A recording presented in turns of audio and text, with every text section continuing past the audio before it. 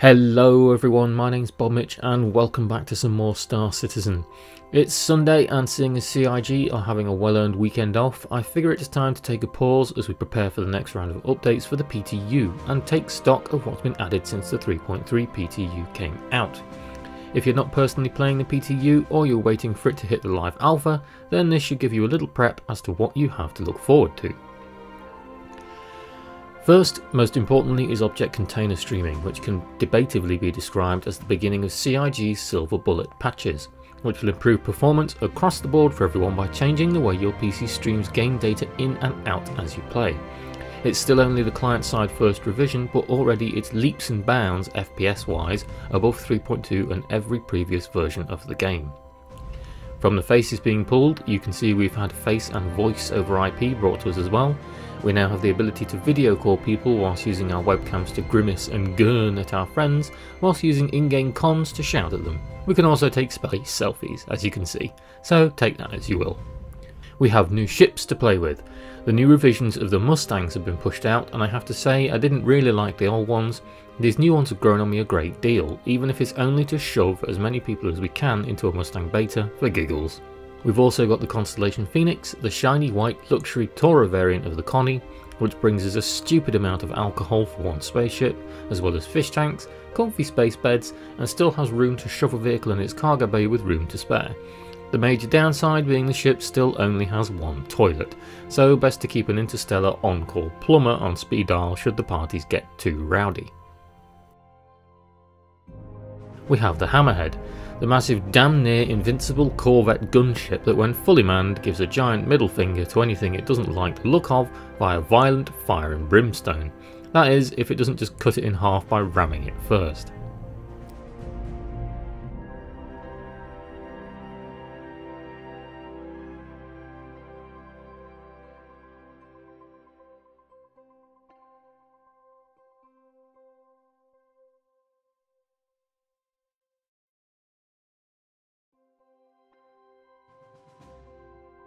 We have the new variants of the Tumbril Cyclone ground vehicles. Aside from the generic pickup version, we've got a turreted version, a scanning version, an anti-air version, and a racing version pictured here.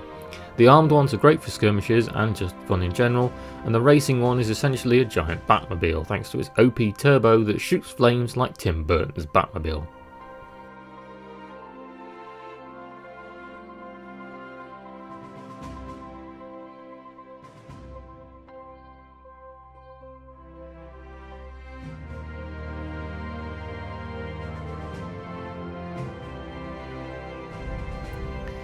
We had a surprise dropped on us at CitizenCon in the form of the Valkyrie, a new dropship which is quickly becoming a very distinctive favourite for a lot of people, giving the ability to speedily move bodies and vehicles in and out of places fast, with some pretty substantial firepower to boot.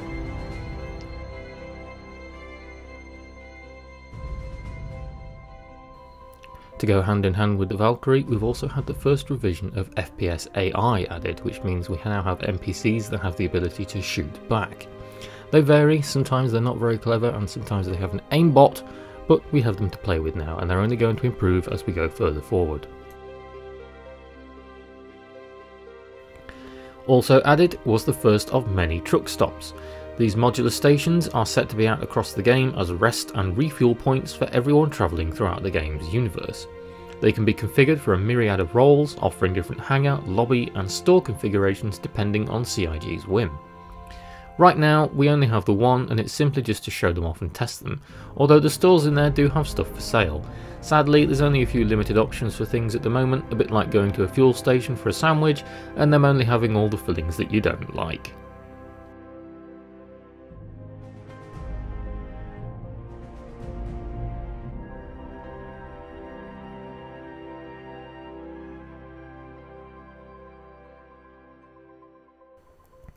The biggest surprise outside dropped, however, obviously, was the ability for us to now buy ships in-game. We've had Teach's Ship Shop added to the customs area at Levski for us to visit, as well as 5 million UEC added to everyone's wallets to go and spend on ships for testing. There's a limited bunch there, but they are purchasable in-game, which will now add a legitimate gameplay loop for players in earning money to buy ships with. The cost of these is likely to change with economy revisions, but they aren't cheap, which is ultimately a good thing.